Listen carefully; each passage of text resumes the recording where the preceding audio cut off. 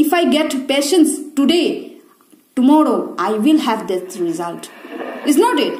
This is the learning we are learning. So there will be no competition, only competition with ourselves. And so whatever you are doing, just love this moment, love yourself and love whatever you are doing. If you are cooking, love it. If you are reading, love this book. If you are writing, love this pen